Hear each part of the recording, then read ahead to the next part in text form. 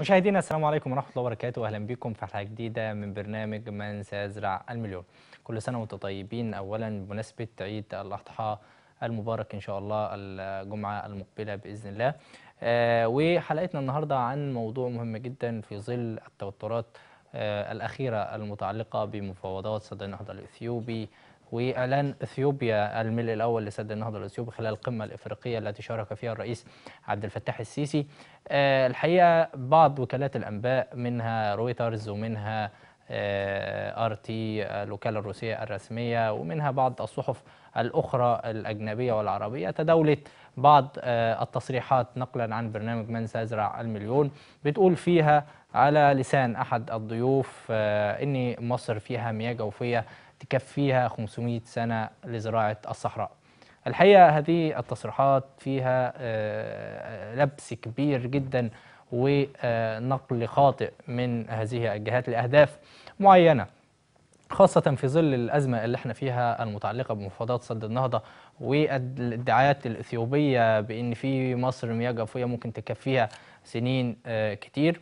أول حاجة هذه التصريحات اللي إحنا شايفينها معانا على الشاشة تصريحات غير صحيحة وغير دقيقة خاصة إن إحنا في البرنامج لم ندلي بمثل هذه التصريحات أو من خلال الضيوف بتوعنا وراجعنا الحلقات بتاع بتاعتنا ما كانش فيها مثل هذه التصريحات. كمان نقطة مهمة تانية وهي إن التصريحات دي كانت من أكتر من عدة أشهر لكن فجأة لقينا وكالات الأنباء بتتداولها يوم 17 يوليو الجاري من كام يوم. إيه السبب ان هذه الوكالات تتداول مثل هذه التصريحات في هذا التوقيت وان البرنامج أو الحلقة اللي إحنا اتكلمنا فيها فيما يتعلق بالمياه الجوفية في أراضي المليون ونصف مليون فدان كانت من عدة أشهر.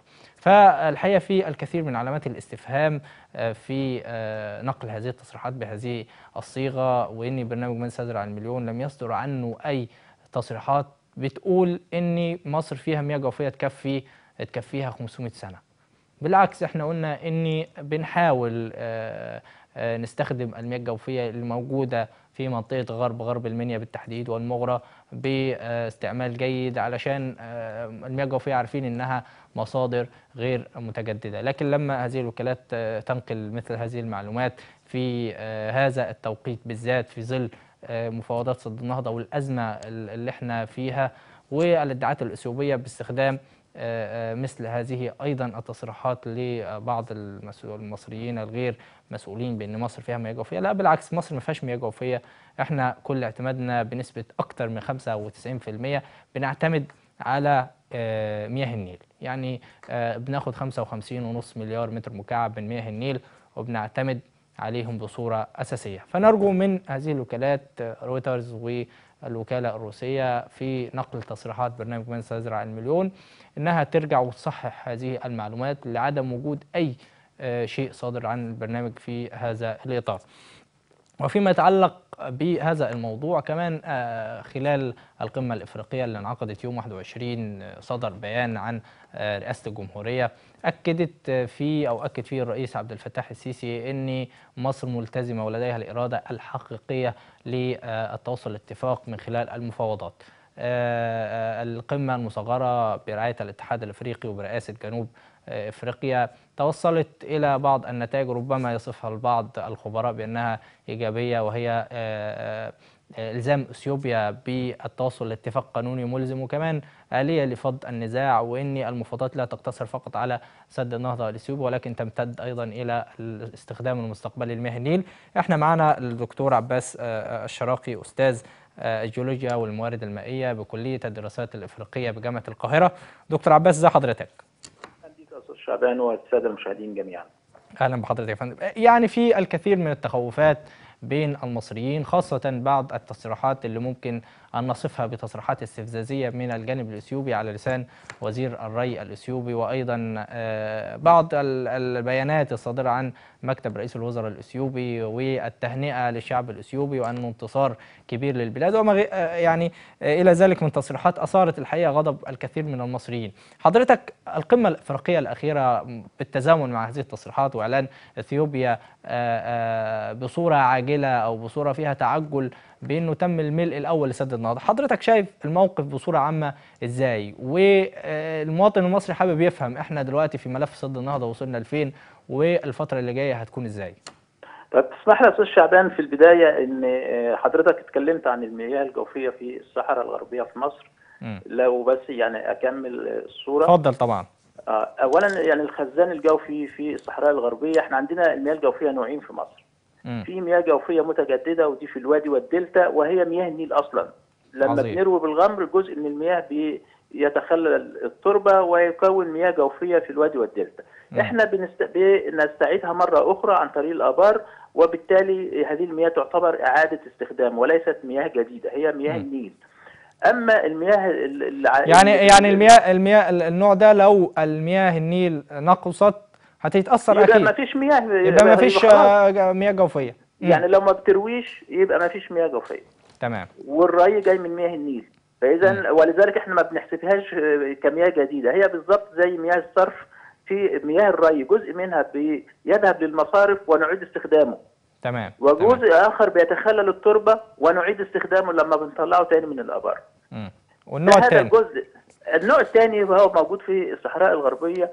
وهو مياه غير متجددة. يعني كل متر بيخرج منها الآن لا يأتي مكانه. مم. وبتستخدم من آلاف السنين للسكان في هذه في هذه الصحراء التجمعات وهذه البدوية والمجتمعات البدوية و... لا طبعا. آه. يعني إحنا حضرتك عندك في الواحات الداخلة والخارجة في آثار من آه، من من آلاف السنين. لأن الإنسان وجد لكن لكن يا دكتور. كمان إحنا لو رحنا للفرافرة والداخله والخارجة هنجد إن العمق بتاع المياه الجوفية الأول لو كان تضرب فاس كان بتطلع ميه دلوقتي لازم تع- تعمل 100 متر أو 50 متر أو يعني يعني المياه الجوفية بتقل هو اللي تسبب في وجود الإنسان المصري في الواحات أن. الواحات هي منخفضات في الصحراء وبالتالي قاع المنخفض بيبقى أقرب لمنسوب المياه الجوفية. ولو في تشقق وكانت المياه الجوفية تحت ضغط فبالتالي كانت بتندفع فكان بيبقى في عيون بنلاقي. فالإنسان وجد إن فيه عيون في الصحراء في مياه في فيه آه، زي بحيرات صغيرة. فبالتالي عرف إن في هنا مياه جوفية وراح عاش هناك. هذه المياه زي ما بقول غير متجددة أصبح الآن هذه المياه لا يمكن تخرج لوحدها. فعلا ال- ال- بالفعل الضغط اللي قل آه، بصورة كبيرة جدا. منسوب المياه انخفض يمكن في بعض الأماكن أكثر من آه، 30 40 متر وبالتالي هذه المياه آه، يعني في بتقل ونوعية المياه أيضا بيختلف كل ما فعلا. يزيد السحب بي- بيزيد الجودة. بتاعتها بتضعف والملوحه بتزيد بالظبط فإحنا دلوقتي المياه الموجودة في الصحراء الغربية بتستخدم بحساب شديد جدا كنا كل المياه دي كنا بنزرع حوالي آه، ربع مليون فدان لكن يا, يا. دكتور في بعض التصريحات بتقول إن يعني وده تصريحات يعني آه، في الكثير من التعليقات عليها بإن في مياه جوفية كتير في في خزانات جوفية وفي بحر من المياه الجوفيه وطبعا آه، ده ما فيش حاجة تثبت ده علميا وده غير صحيح. لا هقول لحضرتك يعني هو في خزانات جوفية في خزان اسمه الحجر الرملي النوبي. مم. هذا الخزان موجود في بعض الطبقات بس على أعماق بتصل في, في بعض الأماكن أكثر من 1000 متر. يعني شوف الطاقة اللي انت هتطلعها من أكثر من 1000 متر. هذا مم. الخزان ممتد في السودان وموجود في تشاد وموجود موجود في في ليبيا ليبيا اللي بالفعل معمول منه نهر النهر العظيم. لكن آه. ليس معنى ذلك أن بحر تحت الاراضي تحت الأرض. ده هذا غير صحيح لأن الاستخدام محدود للغاية. لو سحبت زيادة المياه المياه هتطلع فيها ملوحة. مم. وممكن في آبار بتجف. وبالتالي الاستخدامات يعني إحنا دلوقتي كنا بنزرع ربع مليون فدان. لو زودنا عليهم يعني على الأكثر حوالي نص مليون فدان يبقى كده برضو ربما ندخل في الاستعمال أو الاستخدام اللي يبقى جائر. ولذلك ال- ال- المياه في ال- الخزانات الجوفية لابد من الحرص في استخدامها. وإحنا في مصر إحنا بنزرع دلوقتي حوالي 9 مليون فدان. فإذا ال- ال ال 9 مليون فدان نجيب لهم ميه منين؟ لا يمكن المياه الجوفية. إحنا كنا بنزرع ربع مليون ولو عملنا عليهم كمان ربع أو نص آه، آه، مليون. فعلا. فإذا إحنا من المليون ونص فدان في جزء من الأراضي بيعتمد على مياه النيل. هو صحيح الجزء الأكبر مياه جوفية لكن في جزء بيعتمد على مياه النيل زي مثلا المياه الجوف- ترعه السلام المياه الجوفية يا دكتور بتسهم قد إيه في في في ال... يعني مليار؟ في يعني في غرب المنيا إحنا عندك مثلا آه، يعني فيه آه، 100 200 متر ولكن المياه في غرب المنيا مياه مالحة. الملوحة فيها أكثر من 2000 آه، جزء في المليون 2000 يعني لا يمكن تتشرب ولا يمكن تصل- تصلح لزراعة كل تكلفتها عالية وتكلفتها عالية من كل ناحية ما هي ما هي ابار وبعدين ده وبعدين ما هوش خزان ضخم في غرب المنيا لأن في تشققات دي صخور. جيريه طب يا دكتور آه، نروح نروح لملف سد النهضة بسرعة نروح بقى لملف آه، آه. عشان بس يعني حضرتك ذكرت إن المياه الجوفية ليست بضخامة ولا مسموح باستخدامها بكميات كبيرة. مم. أما بالنسبة بقى لسد النهضة والتصريحات الإثيوبية وما حدث بالأمس من احتفال إثيوبي وتصريح بأن الملء الأولي آه، قد تم وأنهم حجزوا بحيرة آه، بها 5 مليار متر مكعب. هذه تصريحات ضارة جدا بالمفاوضات. وهذه التصريحات تتناقض مع القمة الأولى والثانية المصغرة مع الاتحاد الإفريقي. لأن كانت آه، أهم نتائج القمة الأولى أن تعهد الدول الثلاثة بعدم الإدلاء بأي بيانات أو تصريحات أو عمل أي شيء يضر أو اتخاذ إجراء. احادي يعني خاصة بالضبط ما هو ده ما هو عدم التصرف أو عدم اتخاذ أي إجراء حتى يعني ما أشاروش بالنص لكن كان المقصود هو مم. عدم الملء بدون اتفاق و- وشفنا جلسة مجلس الأمن وجميع الأعضاء يعني أجمعوا على نقطة عدم اتخاذ قرار أحادي. وتكملة المفاوضات يعني دي كانت أهم آه، سمات مجلس الأمن. لما يجي بقى دلوقتي إثيوبيا وهو اللي يعلن يعني إحنا كمان كنا بنفسر تكوين البحيرة أمام سد النهضة بنفسرها علميا إن سد النهضة الجزء اللي كان بيمرر المياه تم غلقه. اذا طبيعي إن مياه الأمطار لما تسقط وتيجي عند السد مش عارفة تعدي فبتتجمع. فعملت فلازم الأول يبقى الخمسة مليار وبعدها تعبر من المياه أعلى السد آه فإذا إحنا بنقول ده حجز إجباري حتى. إثيوبيا لو عايزة تمرر المياه خلاص لأن اتقفل الجزء ومصر والسودان بحسن النية لم يعترضوا على رفع هذا الجزء رغم إن. هو جزء من الملء يعني طب هل هل هل يا دكتور تأثرت مصر بحجز ال 5 مليار دول؟ لا إحنا إحنا إحنا مجهزين نفسنا إحنا مم. لو حضرتك خلال لما تشوف خلال السنتين ثلاثة اللي فاتوا إحنا محددين مساحات الأرز. ويمكن السنة دي كان في تجديد أكتر ومنع زراعة الموز في بعض الأماكن. وكانت هناك رقابة شديدة جدا من وزارة الري على الأماكن المحظور زراعة ال- الأرز فيها. والعام الماضي يعني كنا حددنا المساحة وقبلها كانت 724 ألف فدان فطبعا وكنا نقدر نزرع 2 و3 مليون فدان أرز والأرز المليون فدان بيجيب حوالي 3 4 مليار دولار.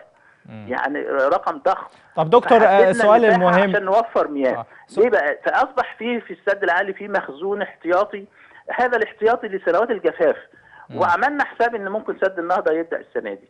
فإذا من الناحية المائية لا يعني ما فيش التأثير الواضح. لكن إحنا بنتكلم على مبادئ وبنتكلم على آه مفاوضات يعني هو في انتهاك للمبادئ. والحقوق والاتفاقيات. اللي حصلت. طب دكتور دكتور هل ترى إن في رد مصري آه، آه، يعني على ال- الخطوة الخطوة الإثيوبية بالملء. شايف إن في رد مصري قوي على هذه الخطوة؟ لا هو هو الحقيقة لم يصدر أي تصريح رسمي حتى الآن. مم. يمكن إحنا شفنا من حوالي أسبوع إن لما التلفزيون الإثيوبي أعلن إن الملء بدأ. تراجع بعدها بساعة وبعدها الخارجية آه، يعني أرسلت آه، للاستفسار. والتوضيح. يعني كان في تأني من الخارجية وده شيء يعني جيد إنك تتأنى من الخبر قبل ما يبقى عندك رد فعل مم. لأنه ربما يكون مش صحيح طب توقعاتك توقعاتك للفترة بعدها- اللي جاية إيه يا دكتور؟ هقول اللي حصل بعدها إن التلفزيون اعتذر فهنا لما حصل دلوقتي بالأمس التصرفات والتصريحات الإثيوبية فهنا برضو توقعنا إن الخارجية بتعد الرد المناسب. وأتوقع إن هو ممكن يكون يعني خلال ساعات أو يعني غدا على الأكثر يعني يكون هناك رد مصري على هذه التصريحات لأن هذه التص- التصريحات مرفوضة وبتضر بالمفاوضات وخصوصا إن لسه كان في قمة اول امس يعني يعني ما فيش داعي لهذه التصريحات.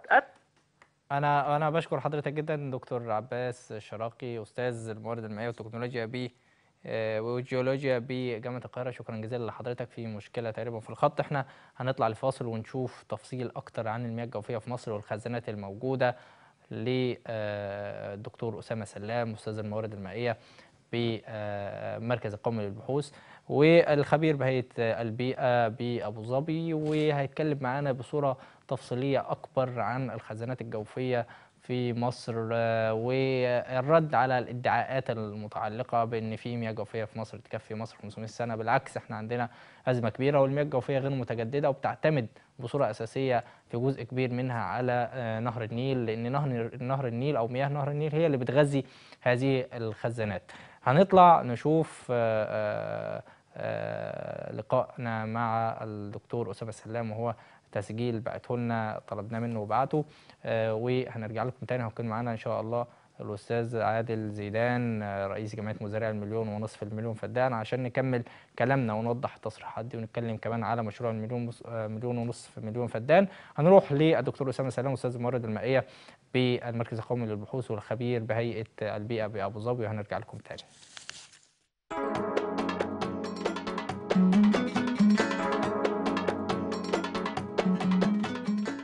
السلام عليكم ورحمة الله وبركاته. هنتكلم اليوم عن المياه الجوفية في آه، جمهورية مصر العربية وهنشوف إيه الخزانات الجوفية آه، إمكانيات الخزانات الجوفية في مصر أنواعها آه، نوعية المياه الجوفية فيها مدى مساهمة الخزانات الجوفية أو المياه الجوفية في الموارد المائية المصرية بشكل عام.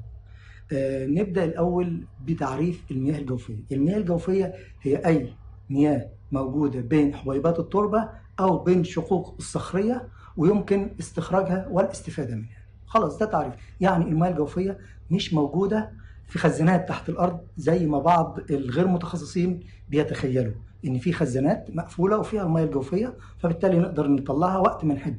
لا المياه الجوفية موجودة بين الحبيبات ولها خصائص بيسموها هيدروليكية وبارامترز أو معاملات. على أساسها تقدر تعرف إزاي هتخرجها واقتصاديات استخراجها إزاي والاستعواض لما تسحب الماء من البير هترجع ولا مش هترجع. خلينا نتكلم آه، في الحاجات ديت واحدة واحدة ونبدأ بأنواع الخزانات الجوفية المصرية. مصر فيها تقريبا أساسا آه، أو بصورة أساسية خمس أنواع من الخزانات. نبداهم عندنا نوع اسمه الخزانات الساحلية. الخزانات الساحلية ده يتواجد على ساحل البحر الأحمر وعلى ساحل البحر المتوسط. وهي خزانات غير منتجة وإن كانت في منطقة العريش ورفح فيها بعض المية وفي بعض الأودية اللي على البحر الأحمر فيها بعض ولكن ميتها آه، يعني صغيرة جدا بالنسبة للاستخدامات. يعني ولا يمكن الاعتماد على إلا زراعات محلية في نفس المكان ودي بتزرع عليها من زمان جدا وشغالة ويعني تنميتها قليلة جدا لأنها ما بتستعوضش غير من الامطار وبعض ال- الخزانات القديمة اللي بتكون بعيدة شوية عن البحر وعلى علاقة. آه، ننتقل للنوع الثاني من الخزانات آه، الساحلية. في خزان اس- اسمه خزان وادي النيل والدلتا. أهم خزان جوفي في مصر. طيب الخزان ده الخزان ده بيمشي تحت وادي النيل من أول أسوان من أول بحيرة ناصر إلى تحت الدلتا. الخزان ده أساسا ميته من مية النيل. يعني ممكن الناس ما تعتبروش إن هو خزان جوفي لأن هو متجدد من مية النيل. إذا مية النيل قلت التغذية بتاعته بتقل. والخزان ده الأساسي اللي كل معظم الفلاحين ومحطات الشرب بتستخدم منه. وهو على علاقة وثيقة بالمياه السطحية. يعني إذا المياه السطحية تلوثت فهو يتلوث وعشان كده بيتلوث في بعض المناطق. طب الخزان ده إذا حصل أي عجز في نهاية الترع بيتعوض منه. وإذا حصل عجز لأي سبب من الأسباب سدود أو خلافه أو نقص المياه في أي وقت بيتعوض منه. والخزان ده هو أكبر خزان جوفي مستخدم في مصر. بيستخدم كام؟ تقريبا من 6 ل 7 مليار في السنة. واساسا هي ميه نيل. ميه نيل تم آه، ترشيحها إلى الخزان. وحاليا ابتدى يقل المنسوب بتاعه في مناطق كتير في الدلتا وابتدى بعض الخز... الخزان الجوفي في شمال الدلتا ابتدى يملح من تدخل ميه البحر. وبالتالي الخزان ده اعتماد كلي على النيل. هذا الخزان بدون النيل لا يوجد خزان تحت الدلتا وتحت آه، آه، وادي النيل بطوله. ف وبيشحن بكام؟ دراسات كتير. لما تيجي تقول يشحن أو مش الشحن تبص للدراسة وتشوفها. هل الدراسة إيه المعاملات اللي على أساسها حسب؟ في ناس تحسب بيتغذى بواحد ونص مليار في السنة. في ناس حسبت ب 2 مليار في السنة. في ناس حسبت 3 مليار في السنة. لما تيجي تحسب إمكانيات الخزان أو تشوفها لازم تشوف المعاملات وطريقة الحساب اللي حسب بيها. وفي نفس الوقت برضه تقول خزان يكفي كام سنة؟ برضه لازم في كلام تاني كتير. يعني ما تقدرش تقول خزان بيكفي 100 سنة 200 سنة. ما ينفعش تقول الكلام ده. لازم تقول الخزان ده هتستهلك منه قد إيه؟ ولغاية عمق قد إيه؟ هتقدر تكفي كام سنة. واللي على اساسها هنتكلم بعد كده في الخزان خزان الحجر الرملي النوبي. قبل ما نوصل لخزان الحجر الرملي النوبي نكمل خزانات لأن الخزان الأساسي في الصحراء هو خزان الحجر الرملي النوبي. في خزان آه، اسمه خزان الحجر الجيري. هو يعني يعتبر على شواطئ النيل يعني على النيل يمين وشمال في شمال شمال مصر. والخزان ده يعني ميته مالحه نوعا ما وتغذيته من الأمطار ومن نهر النيل وبرضه إمكانياته غير جيدة. يعني هو له إمكانيات وإمكانياته بس غير جيدة زي خزان الدلتا والوادي هو جاي المقارنة بينهم. الخزان آه، الرابع هو خزان صغير في المغرى وله خصائصه وهو مقفول شوية عند منخفض القطاره وفي المناطق اللي حولها وبرضه الخزان ده مالح إلى حد ما. وإذا تم الاستثمار عليه استثمر في ال- النباتات أو الزراعات اللي بتستحمل الملوحة إلى حد ما. نيجي للخزان الكبير. خزان الحجر الرملي النوبي. الخزان ده بيغطي مصر وليبيا وتشاد والسودان. أربع بلاد. الخزان ده بقى غير متجدد على الإطلاق. كان بيتجدد إلى سنوات سحيقه وكان بيتجدد من بحيرة تشاد وبحيرة تشاد راحت خلاص وما فيش التجدد دي. فالخزان ده قديم. أي متر مكعب هتاخده منه. مش هيست... هيسترد تاني أو يستعوض تاني. وفي بقى آه، في قصة في الخزان ال- أو اسمه الحجر الرملي هو عبارة عن حجر. المسام بتاعته قليلة جدا والمية موجودة فيه. آه، في قصة في الخزان ال- أو اسمه الحجر الرملي هو عبارة عن حجر. المسام بتاعته قليلة جدا والمية موجودة فيه وبالتالي حركتها بطيئة جدا. طيب إيه المشكلة بتحصل؟ آه، آه، لو إحنا سحبنا منه. لو سحبنا منه اسمها التأثير المحلي. يعني إيه تأثير محلي؟ في منطقة مثلا الواحات الخارجة والداخل والفرافرة والبحرية وبعض سيوة بيستخدموا الخزان ده. نيجي ناخد مثال واحة الخارجة. واحة الخارجة من آه، أول ما بدأت في قبل الستينات والستينات في تنمية الصحاري كانت المياه متدفقة. تعالوا النهارده نشوف المياه فيها إيه؟ بعد الاستثمار والبنية الأساسية وي وي وي وي. المياه على بعد 150 متر و100 متر في بعض المناطق. وبالتالي بقت غير اقتصادية. فاساس إمكانيات لما نتكلم عن إمكانيات الخزان الحجر الرملي النوبي ما تقدرش تحسب أي رقم ما أنت لو ضربت المساحة الكلية في معامل اسمها ال yield stress أو ال- المعامل اللي تقدر بيه تحسب كميات الميه اللي تقدر تخرجها من الخزان هيطلع رقم مهول. بس تعال استخدمه بقى. الاستخدام مش هتعرف تستخدم منه حاجة خالص. كل ما تعمل استثمار في بنيه اساسيه في مكان تسحب الميه يعمل حاجة اسمها مخروط الهبوط الميه تتأثر تنزل بيبقى سحبها غير اقتصادي. دي نمرة واحد. نمرة اتنين الميه لا تستعوض. عاوزة مئات السنين عشان ترجع تاني. فإذا المية لا تستعوض في نفس مكان الاستثمار المية آه، عاوزة سنوات عشان ترجع تاني. المية أعماقها بتزيد والسحب فيها يطلع غير اقتصادي. تخيلوا إن الفلاح في الدلتا لو سحب المية من الترعة وهي على بعد 6 متر 7 متر من سطح الأرض بيخسر. فما بالك لما يرفع مية من 150 متر غير اقتصاديه على الإطلاق للزراعات العادية.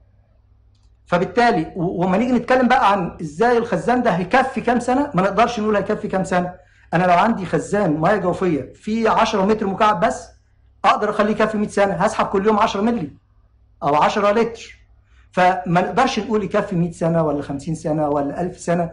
الأرقام دي كلها أرقام تقديرية. ولكن الحقيقة الممارسة الفعلية ما تقدرش تنمي بصورة كبيرة لأن المناطق اللي بتنمي فيها تستنزف ضغوط الخزان ويبتدي يحصل هبوط فيه تصبح المياه غير اقتصادية وما تقدرش تستثمر يبقى كل اللي انت استثمرته راح. فالاستثمار لازم يكون حذر على المياه الجوفية في الخزان الجوفي لأن بيحصل بعد كده هبوط محلي ما بتقدرش تجيب المياه وبالتالي لا يمكن الاعتماد على الأرقام اللي الناس بتتكلم فيها. يعني أنا أقول إمكانيات وهي بعيدة جدا عن سطح الأرض لا يمكن استخدامها. أعمل أسحب على بعد 150 متر المتر يكلف لي أكتر من التحلية. فده ما نقدرش نتكلم إن هو. وبعدين لازم تقول إيه المعايير اللي أنت بنيت عليها؟ تقدير. هتسحب قد إيه؟ عشان يكفي كام سنة. فكل الأرقام اللي بتقال ان هو بيكفي 150 كلها أرقام غير غير دقيقة وغير مكتملة المعايير. يعني بمعنى أصح لما تقول لي كام. هيقضي كام سنة قول لي يسحب كام منه. وقول لي السحب هيبقى اقتصادي لغاية كام. فده جزء الخزان الحجر الرملي نيجي بقى لجزء تاني اللي هو تلوث المياه الجوفية في مصر.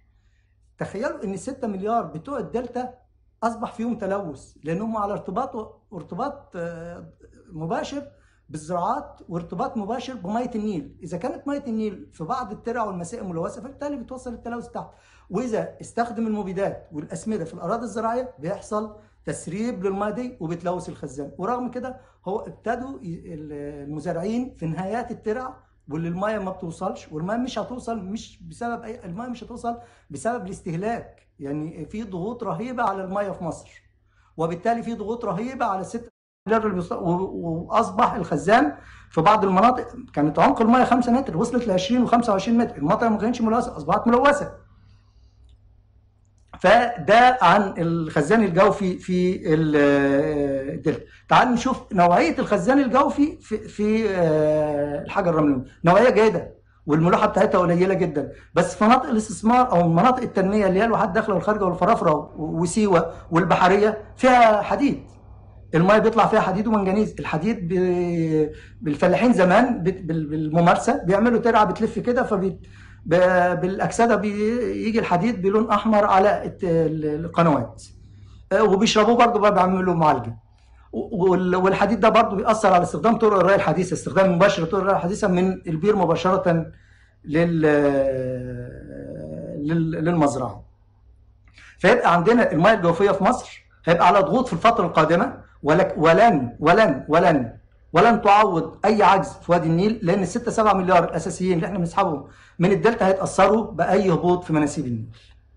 أما الجزء بتاع الصحراء الغربية والخزان الحجر الرملي النوبي اقتصادات السحب مهمة جدا والتنمية في مناطق معينة لأن التاثير المحلي للسحب مهم جدا إن إحنا نعرفه لو عملنا أي استثمار في أي مكان وسحبنا المياه هتنضب وهتبعد ويبقى س- آه، سحبها غير اقتصادي وبالتالي لا يمكن الثقة في أي أرقام تقول إمكانياته كام أو هو في قد إيه أو يكفينا كام سنة. الكلام ده عالي تماما من الصحة ومحتاج أرقام كتير ومحتاج تشوف الدراسه اللي تمت تمت على أي أساس أو اللي بيقول الكلام لازم يكمله. يقول هيكفي 10 سنين ونستخدم كل سنة 5 مليار 6 مليار.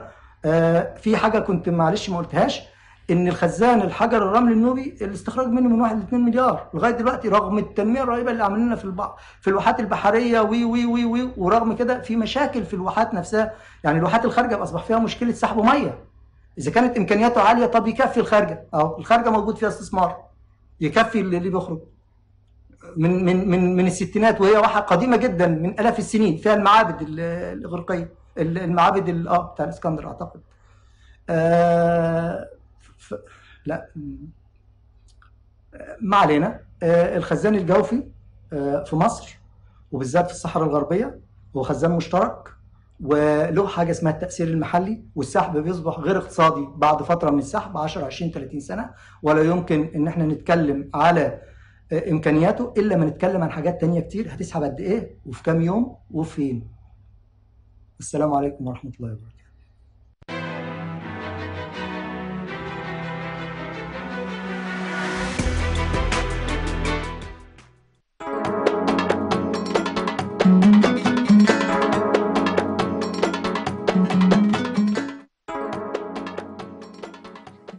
مشاهدينا أهلا بكم مرة ثانية في برنامج من سيزرع المليون الحقيقة شفنا تصريحات الدكتور أسامة سلام وهو باحث أستاذ في المركز القومي لبحوث المياه في مصر وكمان مدير مشاريع المياه الجوفية في هيئة البيئة بأبو ظبي.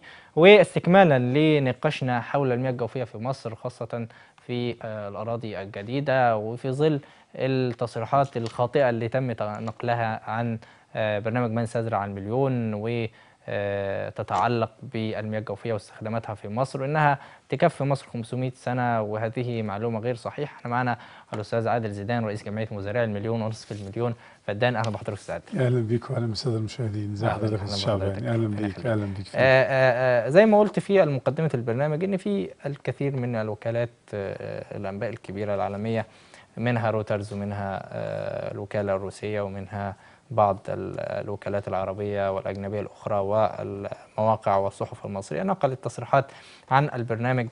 آه، لم آه، توجد في البرنامج. يعني حضرتك لم تذكرها ودي أثارت الحقيقة بلبلة كبيرة خاصة في ظل إن إحنا بنتفاوض في أزمة سد النهضة وبنعاني من أزمة مائية كبيرة جدا ومن شح مائي.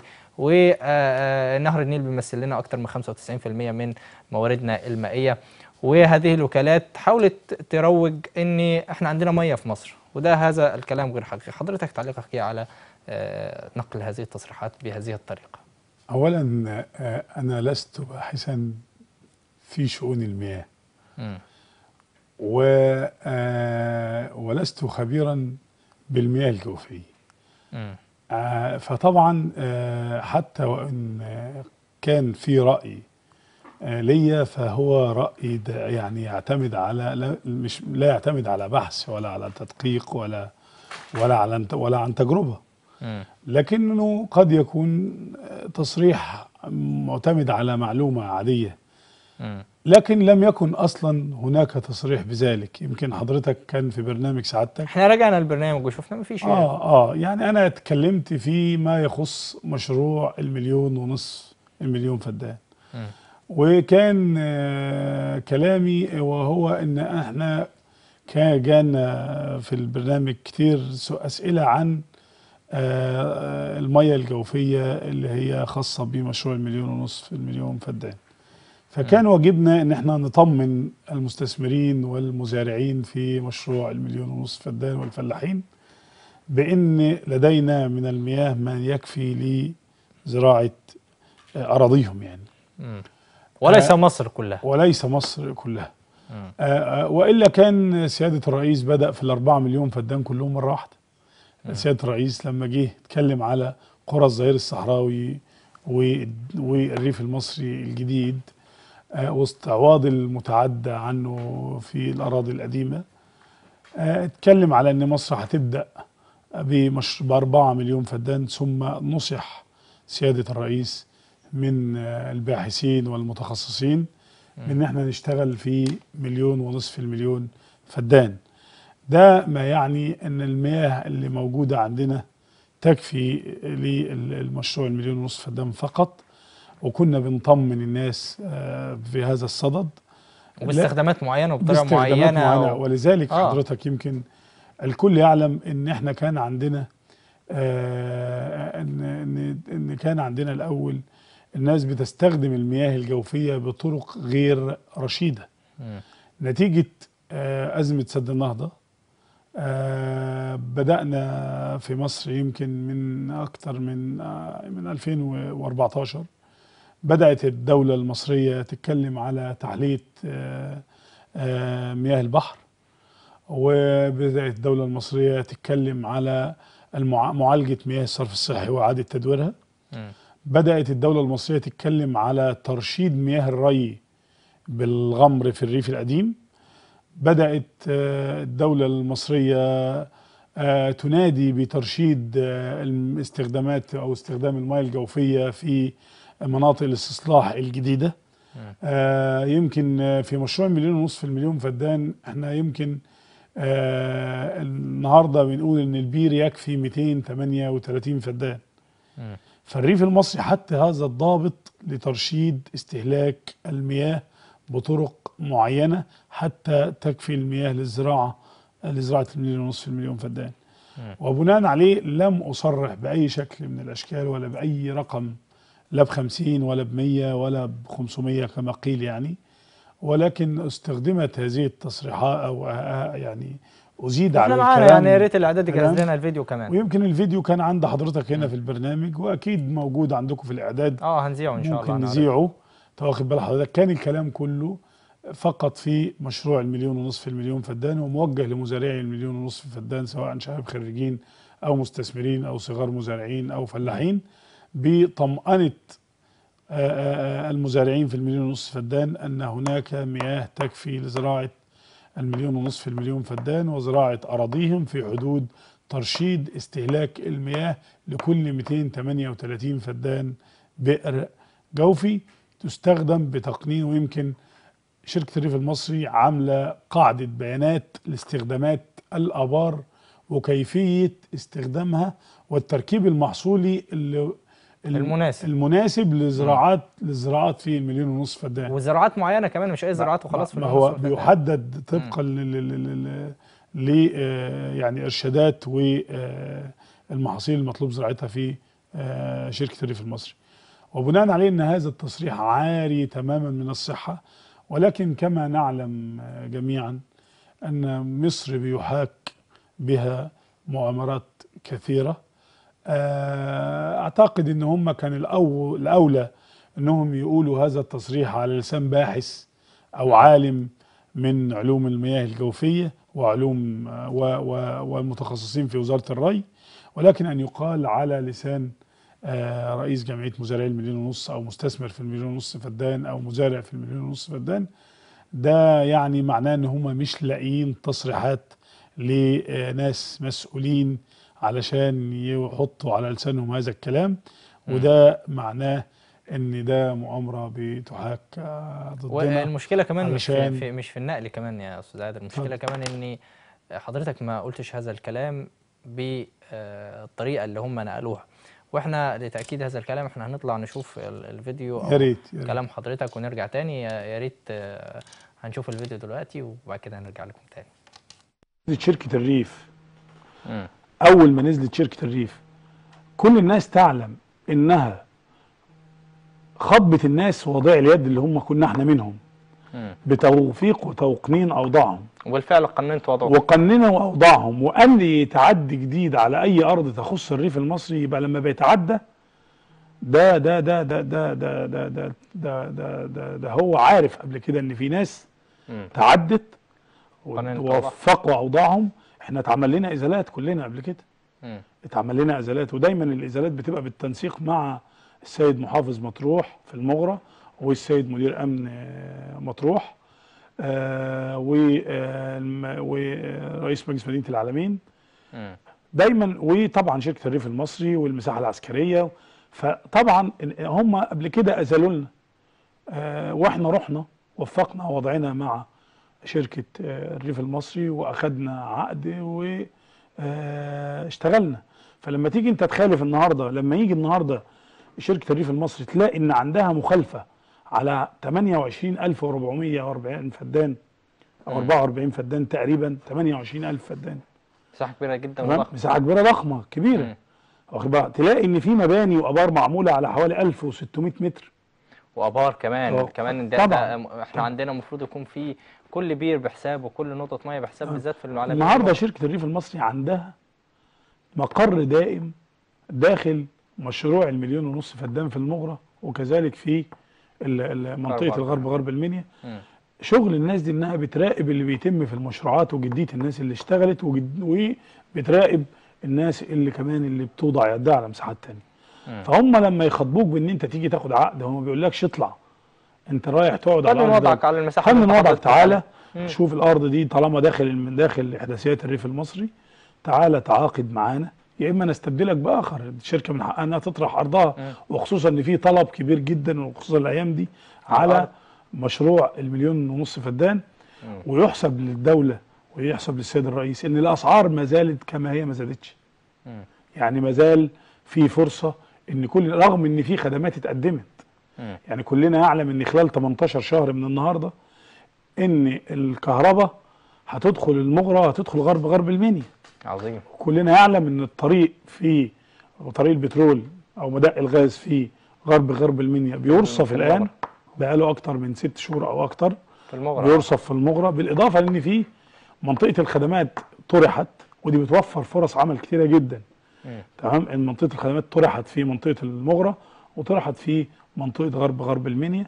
النهارده تقدر تقول إن أنت عندك مشروع شبه متكامل. لما يبقى النهارده عندي إيه اللي, إيه اللي يشجع الناس؟ طريق للوصول؟ كهرباء. كهرباء. مية. مية خدمات موجودة. تانية. خدمات تانية خدمات لوجستية زي منطقة الخدمات اللي موجودة إنك تقدر تعمل هناك في مقر لشركة الريف المصري تقدر تتعامل معاه. في بدل ما تروح مدينة نصر لو المشوار بعيد عليك انت كراجل مزارع في الأرض تقدر تروح انت واخد بالك ودي بتسهل ال- الإجراءات كتير. جدا والإجراءات والورقيات. تقدر كمان تاخد في المنطقة لمنطقة الخدمات تقدر تعمل آه، ورشة تقدر تعمل مقر إداري لشركتك مقر إدارة شركة خدمات زراعية تقدر تعمل محل مبيدات تقدر تعمل آه، محل مستلزمات زراعية واخد بال حضرتك فهنا هم ماشيين طبقا لبال حضرتك لأيديولوجية الإنسان في كل العصور مم. إيه اللي دائما وابدا بال حضرتك إيه اللي بيحصل أول حاجة بتتعمل هي مم. أماكن وجود المية على المية سواء أبار أو آه، مية بحاري بتنشأ المجتمعات الزراعية مم. يبقى المجتمعات الزراعية بتنشأ على أماكن وجود المية. الحقيقة شركة الريف المصري وفرت من البداية حاجتين. حفرت الأبار بالتنسيق مع وزارة الموارد المائية وادت أراضي بأبار وأراضي بدون أبار. يبقى ده جابت لي الإيه؟ المية. رقم واحد. وطرحت طرحها بأسعار مناسبة بتسهيلات لم يسبقها تسهيلات على مدار تاريخ فعلا. استصلاح الاراضي هو في هو. اللي لم يمتلك أرض خلال هذه الفترة مش هيمتلك. لن يمتلك. أنت واخد بال حضرتك؟ لأن هي فرصة إحنا قلنا قبل كده في برنامجكم إن من سيزرع المليون هو من سيربح المليون. مش كلام. أنت حضرتك النهارده لو أنتوا 10 أو 23 واحد مم. دخلت واخدت أرض من شركة الريف المصري في 230 فدان مثلا كمساحه اللي هي الشركة الصغيرة دي. شوف انت النهارده حضرتك لو زرعت واشتغلت لو كل فدان معايا سعادتك. يعني هامش الربح بتاعه في الس... بعد السنة الرابعة 5000 جنيه.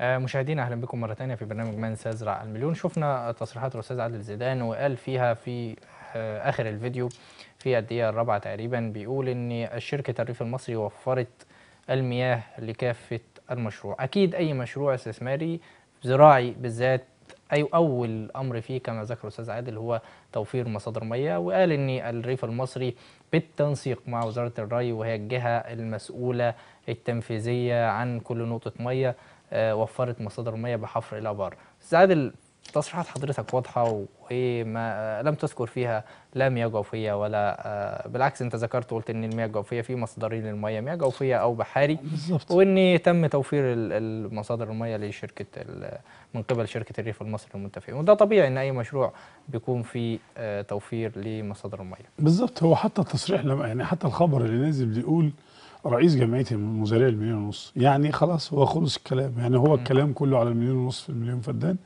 ويمكن لو إحنا هناخد تصريحات حقيقية يمكن كلنا سمعنا الدكتور أسامة سلام من شوية وده راجل متخصص وباحث آه، آه، واستشاري كبير ودكتور كبير في ال ال ال ال ال ال وعالم كبير في في في المياه الجوفية آه، أعتقد إن أصدق ما قيل عن المياه الجوفية في مصر هو ما قاله الدكتور أسامة في التقرير اللي سبق. وحضرتك زعته في الحلقة دلوقتي هنا نقدر ناخد كلام على لسان مسؤول وعالم وخبير ومتخصص في المياه الجوفية هو ما يذكر. أما إن إحنا ناخد تصريح على لسان مستثمر أو مزارع آه، آه، حتى وإن كان هو رئيس مجلس شركه الريف المصري نفسه يعني مش هنقول رئيس جمعية ولا مستثمر. آه، ده يعني معناه إن هم مش لاقيين تصريح على لسان مسؤول. قال هذا الكلام. وطبعا زي ما حضرتك سمعنا كلنا ما لم نقل هذا الكلام آه، بأي شكل من الأشكال ولا بأي وصف من الأوصاف. آه، ولكن آه، تقدر تقول إن إحنا يعني الآن مصر تتعرض لمؤامرة كبيرة في. موضوع مياه النيل. ولكن إن شاء الله بإذن الله كلنا ثقة في القيادة السياسية وفي المؤسسات مؤسسات الدولة المصرية وفي السيد وزير الخارجية المصري وفي آه، السادة آه، السيد وزير الري على إن شاء الله بإذن الله إن في مفاوضات سد النهضة إن شاء الله بإذن الله ربنا يوفقنا ونستطيع بإذن الله إن لحل إن شاء الله نوصل. لحل. وتعدي الأزمة إن, إن شاء الله آه وما ننساش كلنا النهاردة بعد التفويض اللي خرج من مجلس ال- نواب. النواب بان إحنا كلنا مصطفين ورا جيشنا ومن يستطيع منا الوقوف في الصفوف الأولى يقف في ال- الحرب ضد الإرهاب التركي في ليبيا و والتعدي على وتهديد أمن مصر القومي في في حدودنا سواء في سيرتا أو الجفرة فاحنا مصر النهارده آه، عندها قضايا مهمة جدا جدا جدا محتاجة إن الشعب المصري يكون على وعي كامل بما يحدث وما يحاك لها من آه، من مؤامرات. وأدعو كل الشعب المصري إن هو يعني يرفع حالة الطوارئ كل في مجاله. آه كما رفعت حالة الطوارئ في الجيش المصري. استعدادا للحرب في آه آه في في ليبيا والحفاظ على أمن مصر القومي ومحاربة العدو التركي ال- يعني آه الدخيل الذي يتدخل في شؤون ليبيا وليبيا يعني بالنسبة لنا يعني ال- بالنسبة لنا تاريخ يعتبر واحد الآن يعني. وبلد واحد لا وبت- وشعبين. تعتبر أي دولة على حدودك النهارده هي خط الدفاع الأول ليك.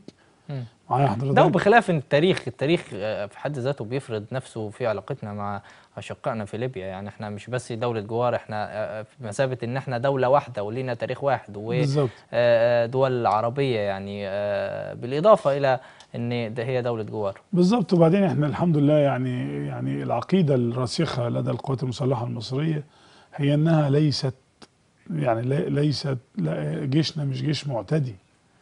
لكن جيشنا مدافع عن حقوقه. يحمي ولا يهد بالظبط يعني يحمي ولا يعتدي. مم. حضرتك جيشنا حتى في في في حربه سلام. يعني حتى حروب جيشنا اللي قادها كلها واللي واللي واللي واللي, واللي الحمد لله يعني خاضها. كانت حروب من أجل السلام. مم.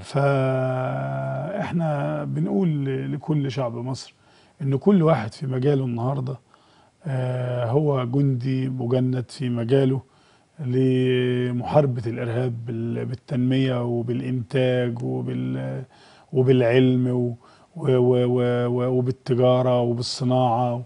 تمام كما يحارب الجندي على الحدود جميل. لأن إحنا كل واحد في بيته يا إما عسكري يا إما ضابط يا إما لواء يا إما عقيد في في الجيش طبعا فإحنا ما فيش أسرة مصرية ما فيهاش ما فيش كده. أسرة مصرية ما فيهاش حد من الجيش مم. فإحنا النهارده طبعا يعني بن يعني بن بنقول إن إحنا الحمد لله يعني إن مصر في كل الأوقات بتلتف في الأوقات الصعبة وفي كل الأوقات الحقيقة جنب جيشها وحول قيادتها ورئيسها.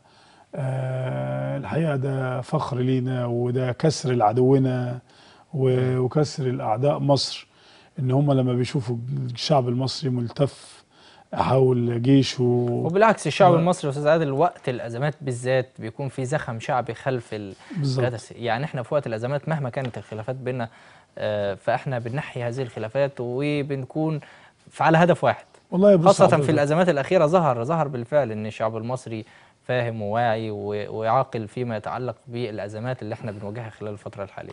بص حضرتك الجيش المصري كان تمام؟ وسيظل هو ضمانة الشعب المصري لحياة آمنة ومستقرة وكريمة.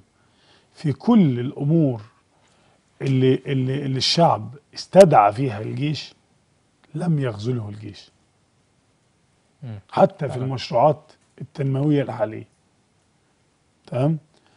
الحقيقة النهاردة بقى الجيش بيستدعي الروح الوطنية عند ال- الشعب المصري والحمد لله الشعب المصري لم يخذل قيادته ولم يخذل جيشه في رفع الروح المعنوية لدى ال- الضباط ولدى الجنود ال- اللي في الجيش المصري. والحمد لله كل ال- ال- المؤسسات ال- ال- مؤسسات الدولة المصرية الآن واقفة يعني ومصطفى اصطفاف كامل وراء الجيش ال- المصري. فاحنا إن شاء الله بإذن الله متأكدين ومؤمنين بإن إن شاء الله بإذن الله مصر لن ينال منها أحد. إن شاء الله بإذن الله. بحفظ الله ثم بوعي قيادتها ثم بوعي شعبها اللي أثبت في كل المناورات اللي تمت عليه وكل ما أحيط ليه من به من مؤامرات ان هو ثابت ولأنه وثابت لأنه شعب ليه تاريخ بيشده دايما لتحت بيثبته. مم. مصر حضارة يعني مصر قامت قبل قبل ما يكتب التاريخ وقبل أن يقوم التاريخ. فمصر دولة آه، لها جذور. ودولة أصيلة ودولة راسية ولها ثوابت ومصر حتة أرض على ناصية زي ما قال المهندس الكفراوي. آه، آه، آه، مصر بلد مطمع للجميع وهي رمانة الميزان في مكانها. وإذا عطست مصر أصابت الشرق الأوسط بالأنفلونزا كما قالت جولدا مائير. إحنا ما فاضلش حوالين مننا حد. فإحنا بنحاول ما ين- ننقذ ما يمكن إنقاذه في ليبيا. ال- لما تيجي النهاردة تبص حوالين منك فين إخواتك مم. بص كله كله. انهار يعني دلوقتي. إحنا لو شفنا كل الدول العربية اللي كانت زمان دول قوية بيهبها العالم دلوقتي تم تنفيذ كل المخططات فيها يعني شايفين إحنا العراق شايفين صح. سوريا شايفين يبقى- اليمن شايفين آه، ليبيا الآن فباقي إيه غير مصر ما ما فاضلش إلا هي فاحنا ما حدش هيقدر علينا إلا لو حد عمل وقيعه بين الجيش والشعب. مم. المركب ودي مستحيل تقدر تقدر تقدر تواجه الريح. فعلا. إلا لو القاطنين قا- يعني الساكين المركب دول هم اللي تخلوا عن ثقبوها أو خرموها. واخد بال حضرتك؟ تمام؟ لكن مصر إن شاء الله بإذن الله قد الدنيا كلها بعظمة جيشها وبعظمة شعبها. واخد بال حضرتك وبوعي جيشها ووعي شعبها. إحنا إن شاء الله بإذن الله بإذن الله بإذن الله عندنا أمل كبير جدا جدا جدا جدا في إن مصر تنتصر على كل المؤامرات بالدبلوماسية المصرية وبالحرب إن اضطررنا إلى حرب. فعلا. فيعني الشعب المصري يكون واعي لما يحاك آه، به من مؤامرات. وبعدين قضية سد النهضة هي قضية مش مش حالية ده من زمان. يعني إحنا أكتر من 20 سنة وبيتكلموا في هذا الموضوع. ده من الستينات اللي أو- أو- الماضي أو- يعني. أو من آه، ست- صح. لكن فعليا بدأنا آخر عشر سنوات. بالظبط لكن إن شاء الله بإذن الله إحنا بإذن الله يعني آه، نقول لكل اللي قال علينا أو على على لساننا أي تصريح خاطئ آه، طبعا لم يصدر منا هذا هذه التصريحات ولن نكون وقود لنار يريد أن يحرقها يحرقنا بها العدو. أنا بشكر حضرتك جدا أستاذ عادل زيدان الحقيقة كنا حابين نتكلم أكتر آه، عن نقط تانية فيما يتعلق بمشروع المليون ونصف المليون فدان. باعتبارنا حضرتك أحد المتابعين وكنا عاوزين تعليقات على حوارنا مع المهندس عاطر حنورة لكن وقتنا انتهى وإن شاء الله يكون في آه، حلقة تانية بإذن الله نتكلم رسالة فيها. وحيدة لو تسمح لي في دقيقة. لكل مزارعي المليون ونصف فدان اللي حصل على أرض في المليون ونصف المليون فدان أبشروا. أنتم على الطريق الصحيح. آه هذا المشروع هو العمود الفقري للاقتصاد الزراعي المصري حاليا. هو المشروع الوحيد اللي يقدر محدود الدخل أو شباب الخريجين بأقل الإمكانيات والمستثمرين وخلا وصغار المزارعين والفلاحين إن هم يحصلوا على أرض فيه. مشروع المليون ونصف فدان فرصة حقيقية على الأرض المصرية. تقدر لأول مرة في تاريخ مصر في الاستثمار الزراعي واستصلاح الأراضي إنك تتعامل مع شباك واحد وحيد. هو شركة الريف المصري الجديد تمتلك أراضي. اللي فاتحة دراعاتها لكل الناس حتى تمتلك أرض. الأرض ثروة حقيقية.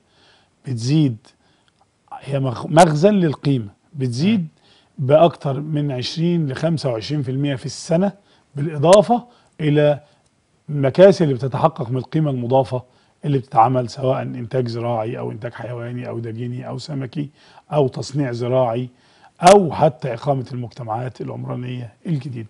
ففرصة لكل اللي بيسمعونا فرصة يعني الناس اللي خدت الفرصة وربنا كرمها وخدت أرض في الريف المصري تمسك بالفرصة وتمسك بحلمك. ولكل اللي لسه ما خدش كونوا شركات خلوا كل العائلات المصرية تكون شركات خصوصا الفلاحين وياخدوا أراضي في مشروع المليون ونصف المليون فدان لأنه فرصة حقيقية. والبعيد قرب المغرى قربت خلاص بقينا من دلوقتي من أبعد مكان في الدلتا ساعتين بالكتير تكون في المغرى. فعلا. النهارده في المنيا ساعتين تكون في غرب غرب المنيا وفي المنيا. المنيا هي عاصمة مصر الزراعية الجديدة. لازم كل الناس تستثمر في المنيا وتستثمر في المغرى. المغرة ليها آه، إمكانيات والمنيا ليها إمكانيات والفرافرة ليها إمكانيات. كل واحد على حسب إمكانياته وحسب رغباته في المنتجات الزراعية اللي يقدر يعملها سواء إمكانياته المادية أو رغباته الزراعية يو- يو- أو الأقرب ليه؟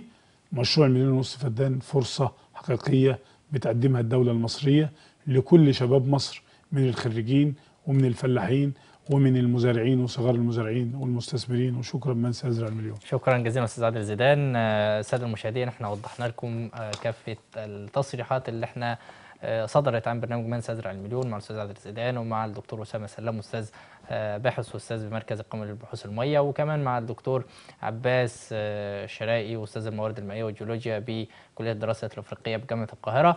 شكرا جزيلا لكم وإن شاء الله تابعونا في برنامج من سيزرع المليون ومعكم شعبان بلال آه، كل خميس تاسعة مساء.